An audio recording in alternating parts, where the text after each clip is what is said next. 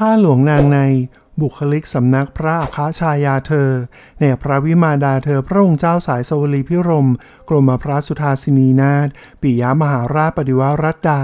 ในรัชกาลที่ห้าคงด้วยพระองค์เจ้าของสำนักนี้ทรงคล่องแคล่วว่องไว แม้ทรงสำอาง แต่งหน้าผัดแป้ง ก็ทำเพียงลวกๆ ไม่พิถีพิถัน ข้าหลวงนางในสำนักนี้ จึงมักแคล่วคล่องว่องไว